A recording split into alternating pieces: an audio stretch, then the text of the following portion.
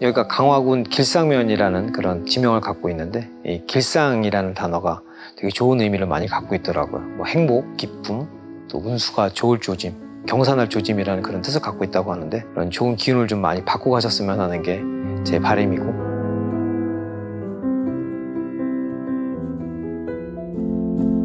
우리 저 금풍 양주장이 이제 100년이 이제 넘었는데 인천시 등록문화재로 된 것을 어, 나는 상당히 기쁘게 생각을 하지. 새삼스럽기도 하고 후대 뭐 여- 역사의 기록이 남겠지 뭐더뭐 특별한 말이 있나? 꿈이 현실이 돼서 얼떨떨한 부분도 좀 있고 또 한편으로는 어깨가 무거운 부분도 좀 있고요. 어, 이 문화재라는 이런 타이틀 자체가 아버님한테 또 할아버님한테 어, 드릴 수 있는 작은 선물이지 않을까 30대부터 했어요. 어, 69년부터 이제 양주장을 했는데 쌀이나 밀가루를 쪄가지고 오는 시간이 새벽 2시 정도 돼요. 새벽 2시부터 일을 하게 되니까 사업적으로도 힘들고 육체적으로 힘들고 이제 그렇게 됐어. 하루 종일 하는 거지. 그럼 매일 만들었지. 지금 일하, 지금은 현대식으로 돼서 지금은 편하지만 그때는 전부 몸으로 때워야 되니까 목조 건물로서 100여 년이 지나서 현재까지 양장으로 운영한다는 건 그리 쉽지가 않는 거죠. 지금까지 그냥 쭉 유지해왔던 그런 모습을 앞으로도 계속 지속해 나가는 모습이 결국 문화재로서의 가치? 100년 동안 한 공간에서 술을 빚는다는 그런 어떻게 보면 의미도 좀 있을 것 같고요. 이 공간 자체가 갖고 있는 어떤 남다른 느낌? 공간이 생기면 자연스럽게 문화라는 게 활성화가 되거든요. 양조장을 단순히 그냥 술을 판매하는 곳이 아니라 이곳에서 술이라는 매개체, 그리고 공간이라는 매개체로 뭔가 새로운 문화를 만들어 간다라는 게 되게 큰 의미인 것 같고 또 더군다나 그게 문화재가 된다 그러면 더 의미 있는 문화가 되지 않을까라는 생각으로 강화도가 뭐 지붕 없는 박물관 뭐 이런 표현도 많이 하더라고요.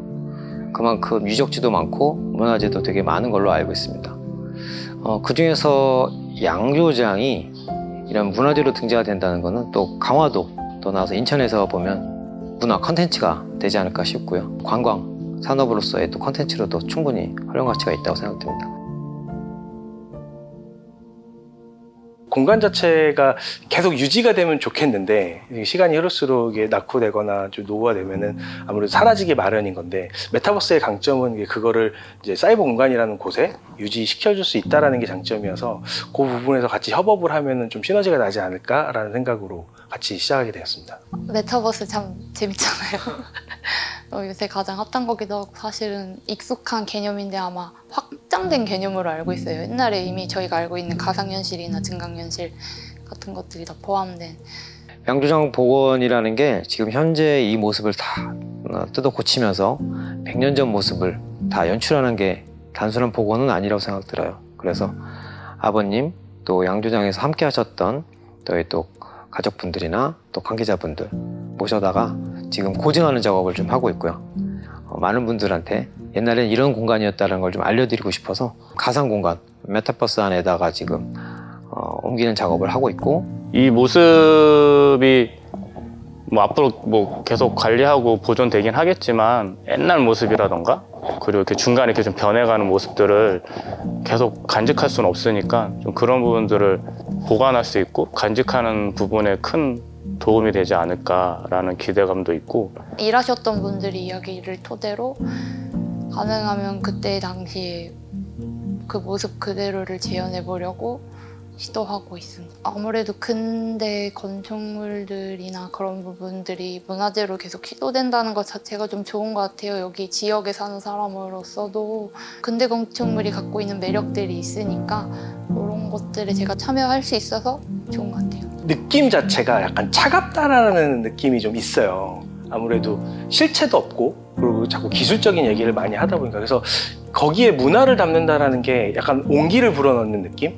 그러다 보니까는 이 100년 된 공간이라는 의미가 주는 게 단순히 그냥 공간의 개념이 아니라 세월을 사람들에게 쌓여 켜켜이 쌓여 있는 그런 뭐 기억, 추억, 뭐 이런 노력 이런 것들이 다 담겨져 있다라는 게 단순히 그냥 기술로서 구현이 아니라 이게 사람들한테는 되게 의미 있는 공간, 의미 있는 장소, 그리고 의미 있는 기술로 좀 다가갈 수 있다라는 게좀 기대하는 부분이고요.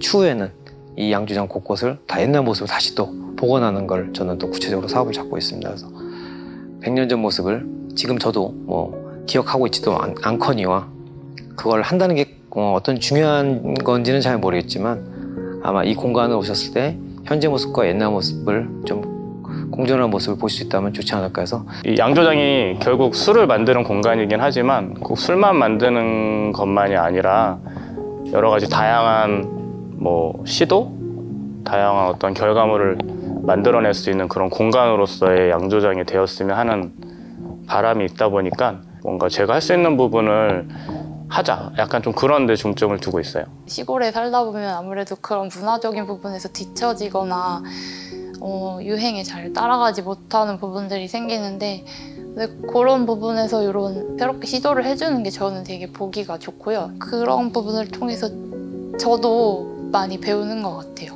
뭐 지금까지 계속 해왔던 모습의 금풍양조장은 그 모습 그대로 항상 같이 있고 그리고 또 앞으로 이제 다가오는 시간들에 대한 여러 가지 멋진 모습을 갖고 있는 그런 모습의 양조장이 되었으면 많이들 오셔서 이런 공간도 보시고 이런 것들 같이 한번 공감을 했으면 좋겠고요. 좋은 공간에서 좋은 기운이 많이 퍼져서 전통주 업계에도 약간 이런 의미 있는 일들이 많이 만들어지는 좀 시초가 됐으면 야, 이게 이 양정을 하면서 100년이 됐다?